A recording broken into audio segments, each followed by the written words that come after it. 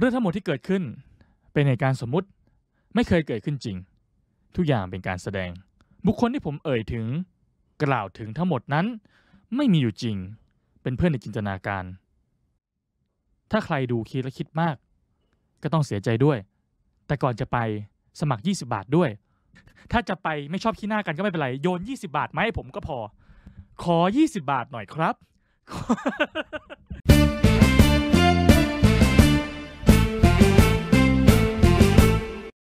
คำถามแรกนะครับ ถามว่า อัปเดตเดี่ยว on stage ครับ รอชมอยู่ถ้าไม่มีก็ไปหามาอะไรนะอัปเดตเดี่ยว on stage ครับ รอชมอยู่ถ้ายังไม่มีก็ไปหามาก็ได้ ก็คิดซะว่าพรุ่งนี้มีประชุมอ๋ออ๋อ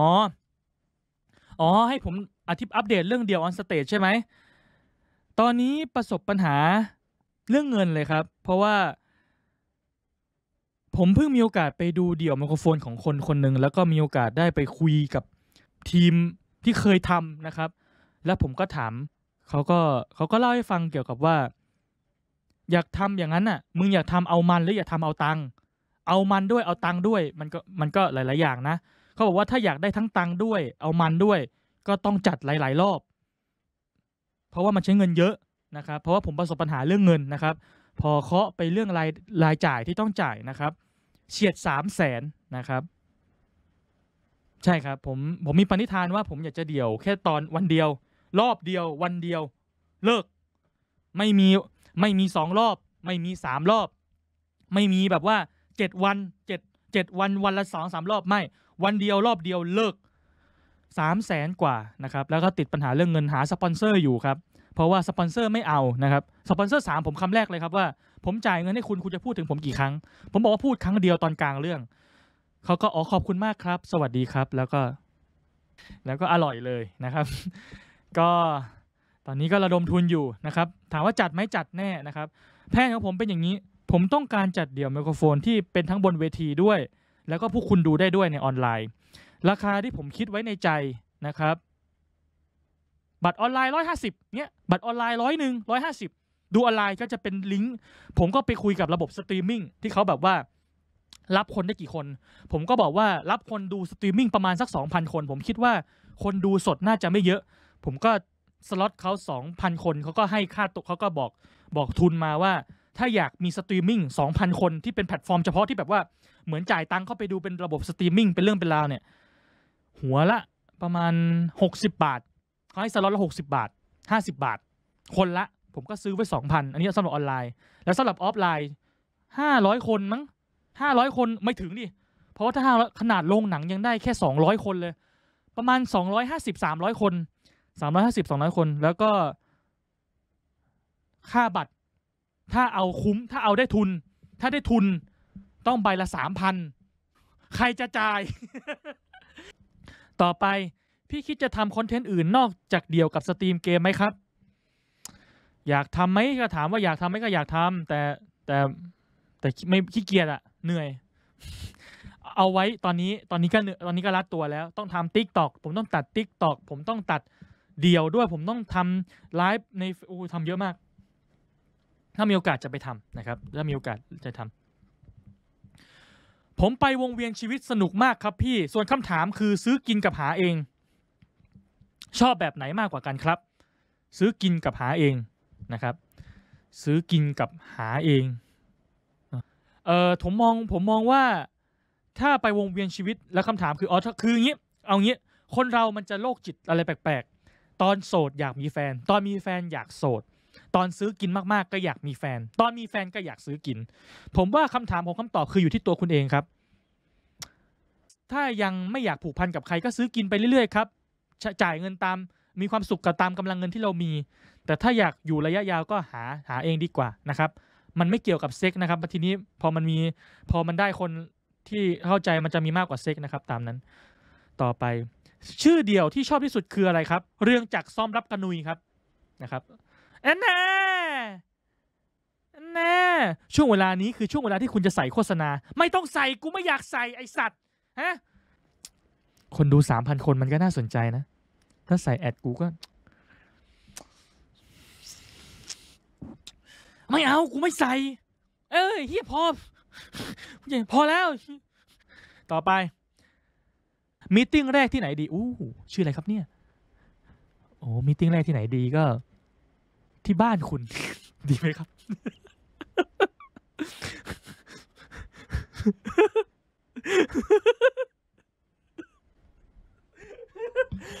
รอเล่นรอเล่นรอเล่น ไว้ก่อนละกันยังไม่ได้คิดนะครับในไม่คิดจะมีติ้งนะครับเอาไว้ค่อยว่ากันนะครับผมว่ามันมันไม่เป็นไม่เป็นไรครับต่อครับพี่ซันเคยเจอประสบการณ์ครูแย่ๆในโรงเรียนแย่ๆไหมครับครูแย่ๆเนี่ยไม่เคยเจอเออเจอโรงเรียนแย่ๆก็เจอครูแย่ๆเนี่ยก็จะเป็นพวกที่ชอบโวยวายแล้วก็เป็นครูที่มีลูกอยู่ในอยู่เป็นนักเรียนด้วยในพวกเนี้ยจะเป็นครูที่ค่อนข้างแย่จะไม่ค่อยสอนดีเท่าไหร่นะครับในมุมมองของผมนะบอกไว้ก่อนสมมุตินะ คือแบบเห็นได้ชัดเลยนะครับว่าไม่มีคำว่าเท่าเทียม ผมเคย เชื่อเอ้ยผมเคยเจอครูคนหนึ่งเขาลูกของเขาอยู่ชั้นเดียวกับผม แล้วเขาต้องเรียนด้วยกัน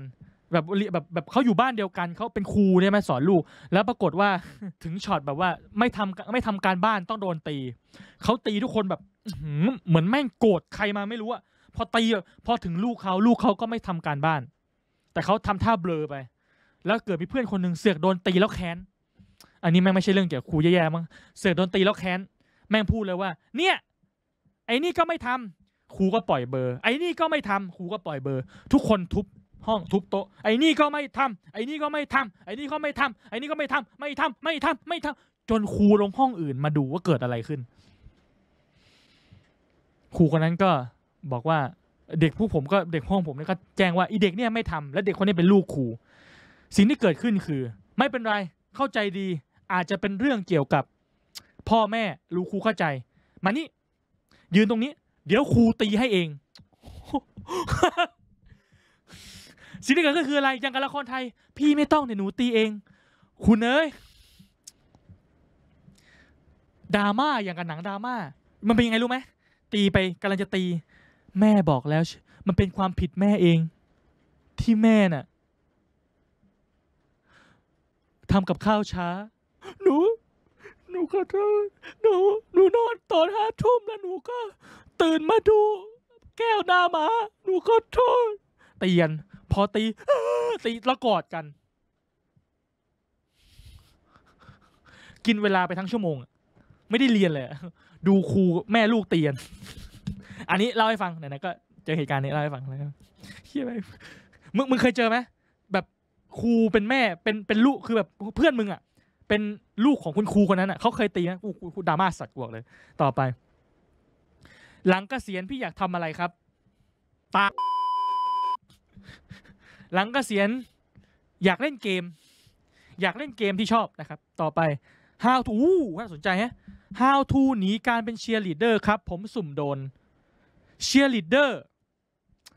เชียร์ลีดเดอร์เป็นเป็นผู้ชายใช่ไหมเราเป็นเชียร์ลีดเดอร์ผู้ชายใช่ไหมโดนสุ่มได้ใช่ไหมก็ ก็อย่าไปเป็นตัวหลักก็ทำตามน้ำไปนะครับ ระบบหมู่ก็ต้องทำใจนะครับ คุณไม่สามารถหนีได้ก็ต้องทำใจแล้วแล้วยิ่งสุ่มได้ก็ก็ต้องช่วยตัวเองไปนะครับ แต่ผมแนะนำนะครับ พยายามเห็นดีเห็นงามกับทุกๆคน ต่อให้ท่ามันทุเรศขนาดไหน ก็เห็นดีเห็นงามไปกับทุกๆคน เพราะคนเพื่อนๆเราลืมง่าย ต่อให้ท่ามันแบบ twerk ดาก มึงก็ต้องตามเข้าไป เพราะว่าแป๊บเดียวอาจจะโดนล้อแค่วันสองวัน เดี๋ยวมึงก็โดนลืม เพราะว่า มันมันมันไม่มีอะไรที่อยู่ได้ยั่งยืนนะครับ มันไม่มีแบบว่าฮ่าฮ่าไอ้นี่ twerk ดากแปะเป็นรูปเป็นบิลบอร์ดไม่ไม่ไม่ไม่มีจริง ไม่ต้องคิดมากนะครับ ชิวๆชิวๆต่อไป แอบชอบคนในที่ทำงานทั้งที่เรามีแฟนแล้ว เราควรจะทำยังไงดีครับ นิยายพันทิปสนุกดีเหมือนนะครับเนี่ยสนุกมากเลยนะครับ พันทิปสนสนุกจริงๆนี่ไม่เห็นกูเป็นพี่อ้อยพี่ชอตอะ แอบชอบคนที่ทำงานทั้งทั้งๆที่เรามีแฟนแล้ว เราควรทำยังไงดี ก็อย่าไปชอบสิมึงก็อย่าไปแอบสิมึงก็น้องพี่ชอบหนู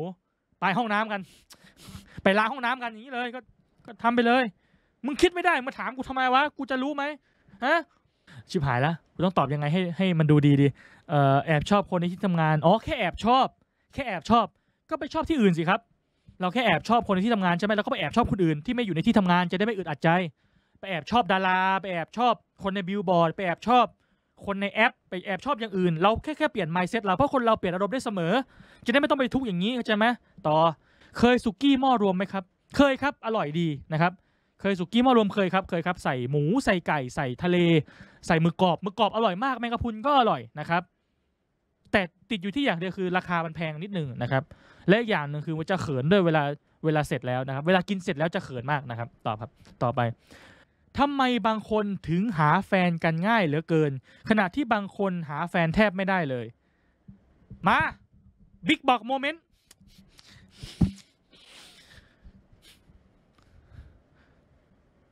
ทำไมคนเราถึงหาแฟนง่ายเหลือเกิน ในขณะที่คนบางคนหาแฟนแทบไม่ได้เลย ผมมองว่าเรื่องนี้ไม่ได้เกี่ยวที่หน้าตา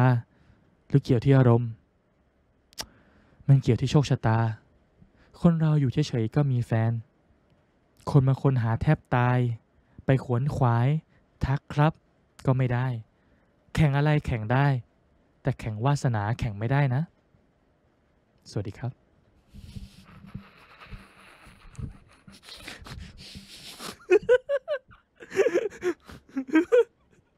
พี่มีเป้าหมายในการตีหม้อไหมครับ ผมมีเพื่อนคนหนึ่ง มันมีความฝันว่าจะปี้สาวให้ครบทุกจังหวัดโดยการหิ้วจากร้านเหล้า ตอนนี้มันขาดแค่จังหวัดเดียวคือบึงการเพราะหาไม่เจอ แล้วก็มีเพื่อนอีกคนหนึ่งตั้งเป้าว่าจะไปเอาสาวทุกคนในบริษัท แต่โดนไล่ออกซะก่อนเพราะผู้จัดการจับได้ว่ามันเอาผู้หญิงไปแผนกสิบกว่าคน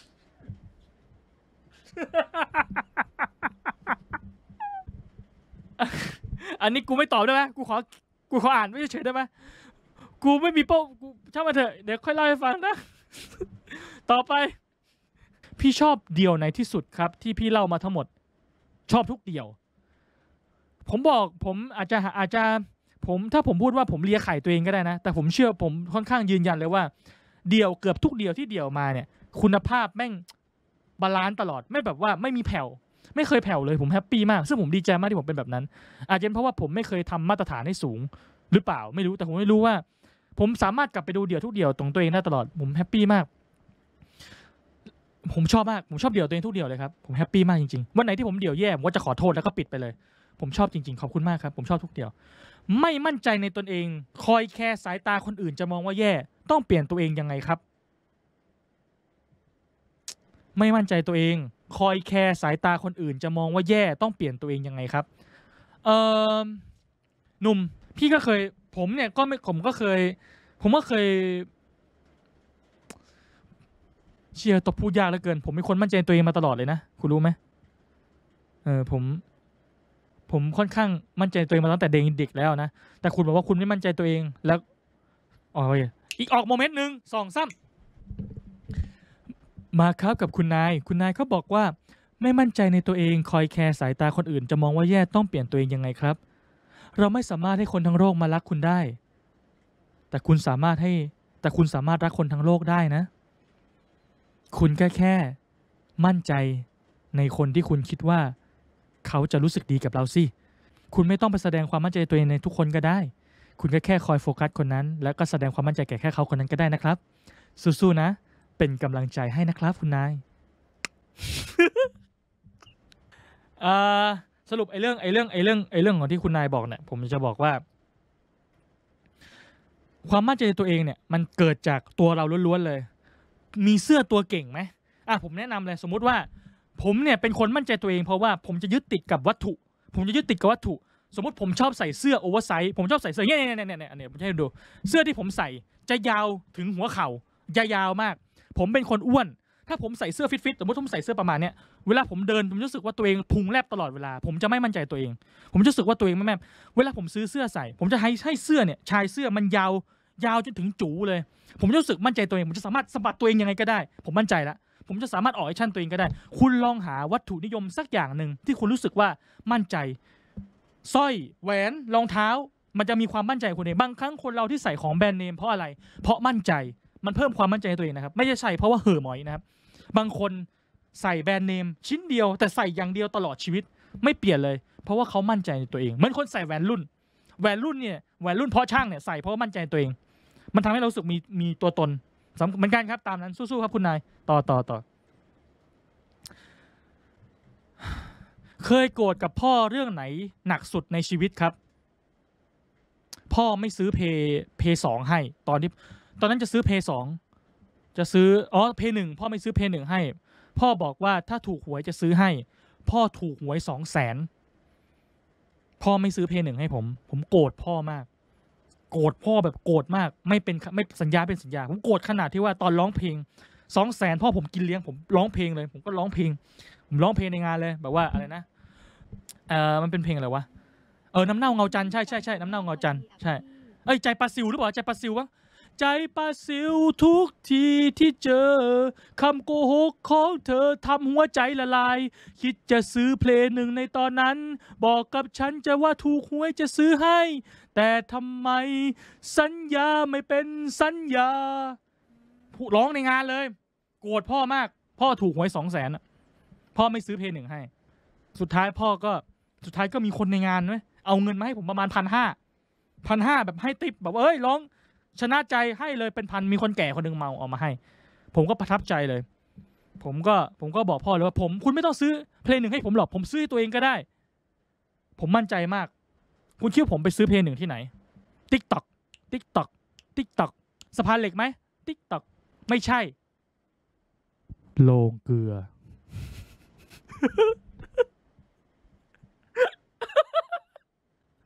ไปโลงเกลือซื้อเพลงหนึ่ง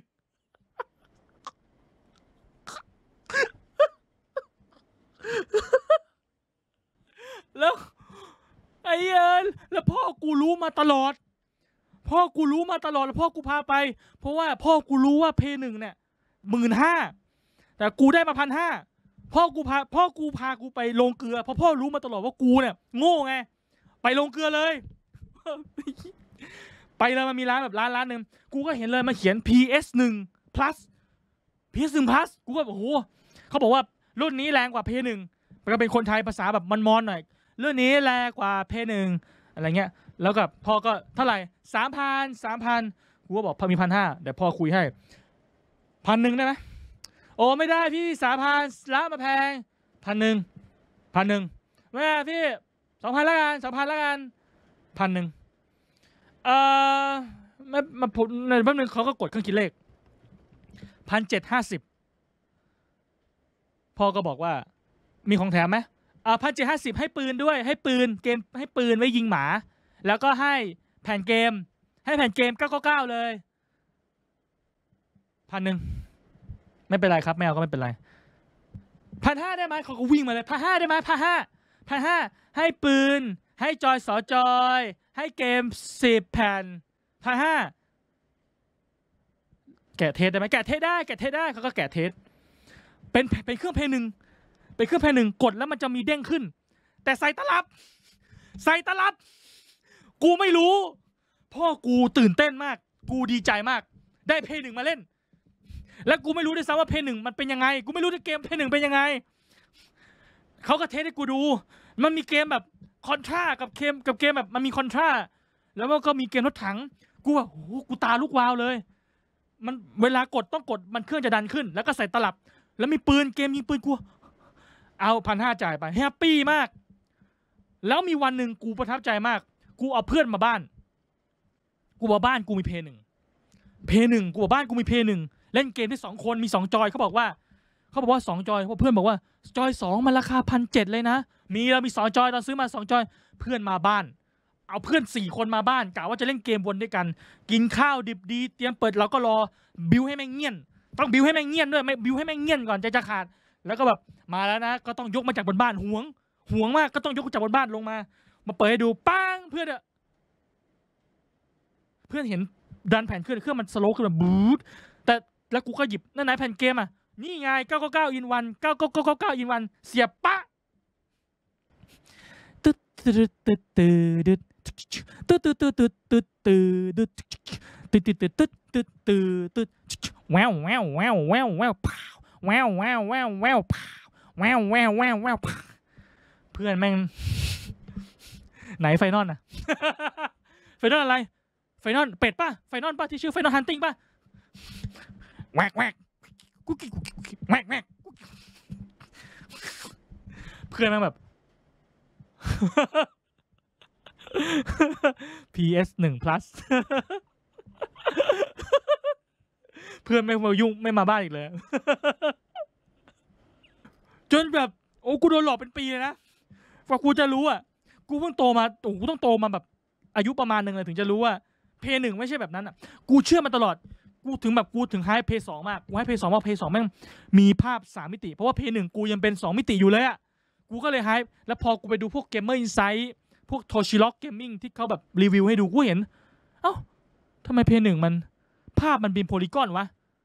มันก็ออกปี 97 ไม่ใช่เหรอวะ กูก็เกิดตอนนั้น กูก็ กูก็ มันก็กูจะซื้อได้ก็ปี 2005 2004แต่ทำไม เอ เอ เอ โดนหลอก ต่อไป ขอคำแนะนำในการสร้างคอนเน t ชันหน่อยครับ คำตอบนี้ดู ดูน่าสงสารมากเลยนะ ดูน่าเจ็บปวดมาก ก็คือ การสร้างคอนเน t ชันเนี่ย มันต้องใช้หลายอย่างมากครับ คอนเน t ชันมาจากผลงานมาจากรุ่นพี่มาจากคนรอบข้าง ถ้าอยากได้คอนเน t ชันจริง ๆ คุณต้องมีรุ่นพี่ที่ทำงาน และแล้วคุณก็ไม่ต้องทำงานกับเขาหรือไม่ก็สนิทกับรุ่นพี่คนนั้น ให้พี่เขาแบ่งคอนเน t ชันมาให้ แบบพี่ครับผมอยากเริ่มต้น มึงต้องพูดดีๆ สมมติเอาง่ายมาก ง่ายแบบง่ายสุดๆเลยนะ สมมติเลยนะวาดรูปเก่ง อยากวาดรูปไปขายเป็น NFT โดยที่มีเงินจริง ๆ หรือไม่ก็ขายรูปได้ มึงจะต้องไปถามคนที่ทำอย่างนั้น แต่มึงจะไม่สามารถไปถามตรงๆไม่ได้เขาจะเขาจะไม่ขายวิชาให้ เพราะเขาหากินกันตรงนั้น มึงจะต้องถามว่าผมอยากเริ่มต้น พอจะแนะนำได้ไหมครับ มึงก็เริ่มต้น ถ้ามึงสนิทมากเขาก็จะบอกแบบว่าทริคหรือไม่ก็เอ่อมาทำงานให้กูก่อน มาเก็บอิวให้กูก่อน มาเก็บอิวเก็บขอบ เก็บแสง สมมติวาดเอทีทีดึงมันจะต้องมี layer ประมาณ7 8ชั้นใช่ไหมมึงเก็บขอบนอกให้กูก่อนเดี๋ยวกูแบ่งตังค์ให้ถ้าขายออก เริ่มจากตรงนั้นก่อนครูพักรักจำไปก่อนแล้ว connection จะตามมาเวลาเห็นเขาคุยกับใครประมาณนั้นนะครับจุดเริ่มต้นของ connection เกิดจากการทำงานร่วมกันตามนั้นครับโอเคสู้ๆครับ ช่วงใกล้เข้ามหาลัยเราต้องซีเรียสหรือเปล่าครับ ไม่ต้องซีเรียสครับทำตัวให้ว่างๆนอนให้เยอะก็พอครับ ไม่ต้องซีเรียสอะไรเลยมหาลัยมึงไม่ต้องคิดมากมีไม่ต้องคิดมากมหาลัยไม่ต้องคิดมาก จริง ๆ ถ้าไม่เรียนสายเข้ม ไม่ต้องคิดมากจริงสบายชิวครูไม่ใจร้ายกับมึงหรอกจริง ครูมหาลัยไม่เคยใจร้ายกับมึง แค่ปากเสียเฉยๆครูมหาลัยส่วนใหญ่เขาจะเรียกคุณว่าคุณนะรู้ไหมแบบว่าแบบแต่เขาจะแดกดันคุณหน่อยแต่เขาสอนคุณนะแต่เขาจะสอนคุณแบบอีโก้นิดๆแต่คุณถาม คือครูมหาลัยจะมันน่าสนใจตรงที่ว่า ยิ่งถามมากๆเขาก็จะตอบคุณมาก แต่ถ้าคุณไม่เหมือนครูประถมนะครูมัธยมนะเขาสอนอะไรไป ถ้ามึงถามเขาบ่อยๆเขาจะรำคาญ แต่ถ้าครูมหาลัยอะเหมือนแบบเหมือนเขาแบบเป็นเข้าใจในหัวเด็กวัยรุ่น ถามมากๆเขาจะตอบมากๆแต่ปัญหาคือถ้ามึงถ้ามึง ถามไปแล้วแล้วทำไม่ได้อย่างที่เขาตอบมึงโดนด่านะเขาจะเกลียดมึงเลยนะ ก็ระวังแล้วกันตามนั้นครับ พี่ลองเล่าเรื่องสักเรื่องที่พี่มีอาหารที่เคยกินแล้วอร่อยที่สุดเท่าที่เคยกินมาหน่อยได้ไหมครับ ผมขอ ผมขอเปลี่ยนอย่างนี้ได้ไหมผมขอเปลี่ยนอย่างนี้ได้ไหมไม่ไม่เรียกว่าไม่คาดหวัง และคิดว่ามันเฮี้ยแต่เสือกอร่อยจนรู้สึก รู้สึกแบบว่าจำจนติดปากได้ไหมมีครั้งหนึ่ง ตอนนั้นผมไปประเทศเอียดอามตอนนั้นตอนนั้นเอียดอามมีบอลอ้าผมจะแทรกเองเฮียกูขอเล่าให้ฟังสักนิดนึงแล้วกัน ผมไปเอียดอามมา ตอนนั้นผมไปเอียดอามตอนนั้นเอียดอามแม่งเกิดบอลบอลเอียดอามปะทะไทย ผมคนเอียดอามแม่งตีแม่งดูบอลระดับแบบระดับชาติ ระดับแบบว่า ระดับแบบยิงโอ้โหแม่งเขาเขาคลั่งบอลมากๆ คลั่งบอลขนาดที่ว่าร้านอาหารปิดร้านเพื่อมาดูบอลคนบนถนนเดินเชียร์ เดินอย่างกับแม่งก่อสงครามกลางเมือง อินมากผู้โพบแม่งปาขวดแม่งโอ้โหเถื่อนมาก หิวข้าว เราไม่รู้หรอกว่าเหตุการณ์นั้นมันเป็นเหตุการณ์เขาเล่นดูบอลกัน เราหิวข้าวมาก ร้านอาหารในเอียดอามปิดทุกร้าน ปิดหมด ปิดแบบปิดไม่เหลืออะไรเลย วันนั้นประมาณสี่ทุ่มตอนนั้นผมก็ผมกลับมาจากทะเลทราย ผมไปทะเลทรายมา ผมไปทะเลทรายที่เอียดอามมา ผมก็นั่งรถเมย์กลับมาประมาณ3ามสี่ทุ่มหิวข้าวมากว่าจะมากินข้าวผัดไข่ ข้าวผัดไก่ แล้วมีวันหนึ่งตอนนั้นผมก็อยู่ตรงอยู่ในโซนโซนหนึ่งโซนนั้นเงียบมาก แล้วมีผู้ชายคนหนึ่งยืนกอดอกอยู่อย่างเงี้ยยืนตาถลนอยู่ แล้วก็มีบารากุ ดูบารากุมีคนแก่ดูบารากุเป็นโซน ผมไปโซนตรงโซนแบบโซนแบบ อาหารโซนอินเอียปาอีอะโซนนั้นอะโซนประมาณนั้นอะ เงียบมาก แล้วมีร้านร้านเดียวเปิดกับผู้ชายนั่ง ดูดบารากุอยู่ หิวมาก แล้วผมยืนอยู่หน้าร้านเขาสักประมาณแบบสามนาทีอะผม search map หาร้านอาหารอร่อยอร่อยปิด แล้วห้างแม่งก็ปิดหมดแล้ว คือหิวมาก อาหารข้างทาง street แม่งปิดหมดทุกคนเชียร์บอลทุกคนดูบอลเชียร์บอลปิดร้านเชียร์บอลผู้ชายคนนั้นที่นี่อะนี่อยู่เขาก็เริ่มถาม Oh you hungry um yes come on come come welcome you want to eat หรือ want to see เขาถามว่าต้องการดูก่อนหรือจะกินเลย ผมบอกว่า I'm really hungry please let me eat this someone โอเค come ผมนั่งอยู่ในร้านคนเดียว ทั้งร้านแม่งมีอยู่คนเดียวกับผู้ชายคนหนึ่งดูบารากูอยู่ ผู้ชายนั่งดูบารากูอยู่หน้าร้าน แล้วก็เอ้ยเป็นไรแล้วเขาแล้วเขาก็เขาก็เปิดเพลงเลยแอะนี่ไงเขาก็เปิดเพลง เปิดเพลงเสร็จปุ๊บเอาผ้ามาปูโต๊ะ Hello welcome This is the traditional menu from the Indian Today I will ผมก็บอกเลยว่า Can you recommend to me Oh, No no no just choose Let me introduce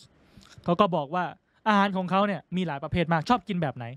เขาก็มีมาซาลาคารีอะไรก็เนี่ย ผมก็บอกว่าผมเนี่ยกินได้หมดเลย ผมกินได้ทุกอย่างเลย เขาบอกว่าชอบอาหารแบบไหนที่สุด เขามีแป้ง เขามีแป้งนู่นแป้งนี่แป้งนั่น ผมบอกผมอยากกินข้าว ผมหิวข้าว ได้เลย ผมไม่คาดหวัง ผมหิวมาก ผมมีด้านลบกับกับไอ้เรื่องไอ้เรื่องความ นั่นอะ ผมก็เลยไม่คาดหวังกูหิวข้าวมาก เอาข้าวไหมกูกินอะเขาก็ได้เอาข้าวแบบไหน เอาข้าวเปล่าไหมหรือจะเป็นข้าวคลุก ผมก็ถามว่าข้าวคลุกคือไงเขาเปิดคลิปนั้นคลิปหนึ่งให้ผมดู ผมประทับใจมาก เป็นคลิปแบบ เป็นจาน เป็นผู้ชายคนหนึ่งเหมือนข้าวเหมือนแกงกะหรี่เขาโรยผงเขาเอามือคนเขาเอามือคน จากนั้นเขาก็ทำการทำให้ซุปมันข้นก็ก็ทำการเวลาเราทำอาหารให้ข้นเนี่ยเราต้องตักกระบวยดึงโรยลงมาขึ้นลงขึ้นลงทำให้ซุปมันข้นเขาใช้มือของเขาทำคนจากนั้นเขาก็เอาจานมาวาง แล้วก็เอาข้าววางใหญ่มาก แล้วก็เอาน้ำ แล้วก็ผู้ชายคนนั้นก็จะกินแบบมือเขาถามว่าจะกินแบบนี้ไหมผมก็บอกว่าไม่ไม่ไม่เอา เอาเอาแบบ ผมก็เปิดเมนู เจอข้าวกับไก่เป็นข้าวแล้วมีไก่วาง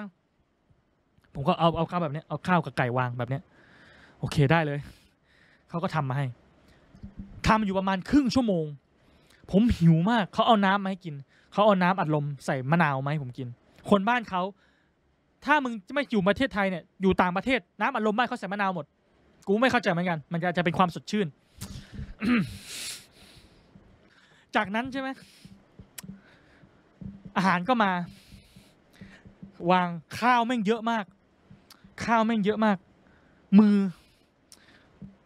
แบบไม่ใช่มือเด็กข้าวเยอะแล้วเขาก็มีไก่ ชิ้นใหญ่มาก ไก่บ้านเขาตัวใหญ่จังวะเป็นน่องไก่เป็นหมูไก่แม่งใหญ่แบบ ไม่ได้พูดเล่นนะเว้ยใหญ่ อย่างนี้เลยอะใหญ่อย่างนี้เลยอะฝ่ามือเลยอะน่องไก่แม่งใหญ่อย่างกับฝ่ามือเลยอะน่องไก่ติดสะโพกแม่งใหญ่ขนาดเนี้ยวางไว้บนข้าว แล้วก็มีสวีทsweet butter masala มั้งโรยไป ผมถามหาช้อน spoon แม่งเอาส้อมมาให้ ผมถาม spoon ผมบอก spoon เขาก็เขาก็ทำอะไรของเขาอะจากนั้นเขาก็ส้อมมาให้ส้อมส้อมให้สองอัน ผมก็กินข้าวได้ส้อมสองอันอย่างนั้นอะ จนเขาแบบเดินมา Are you enjoy this meal ผมก็ถาม no no no no เอ่อเอ่อผมบอกโอเคกินได้ เขาบอกว่า let me introduce to eat in my country style เขาเขาเอาเขาบอกว่าเวลาจับข้าวเนี่ย เวลาทำอาหารเนี่ย เวลาจับข้าวเอานิ้วก้อยออกเอานิ้วก้อยออกแล้วทำอย่างนี้ เอานิ้วมันมีนิ้วกับเล็บใช่ไหม เขาเอาอุ้งมืออุ้งอุ้งตรงเนี้ย ปาดแกงกะหรี่ของเขาอะแกงกะหรี่เขาเข้ากับข้าว จากนั้นช้อนขึ้น แล้วก็ดันนิ้วโป้งเข้าปาก มันจะดีมาก ถ้าเขาไม่ทำกินเอง เขาเอาอย่างนั้นยัดใส่ปากกู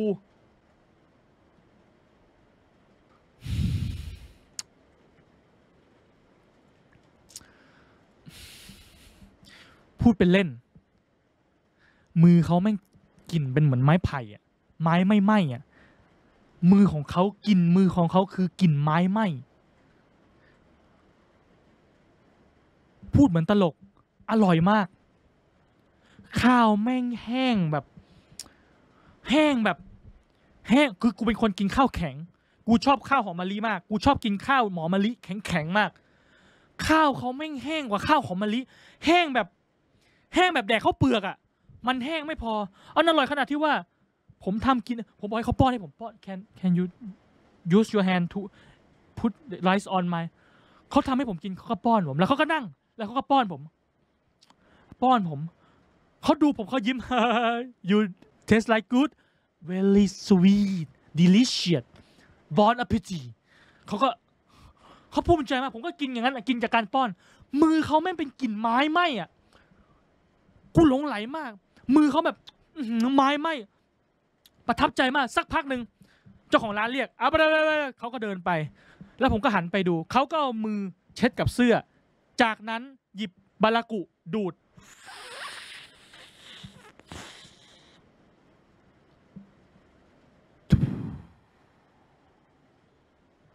เดินกลับมาหากู you want this one แล้วเขาก็หยิบอ๋ออร่อยมากคำตอบของคำถามว่า อะไรที่คุณอะไรที่พี่สารนะคำถามว่าอะไรวะ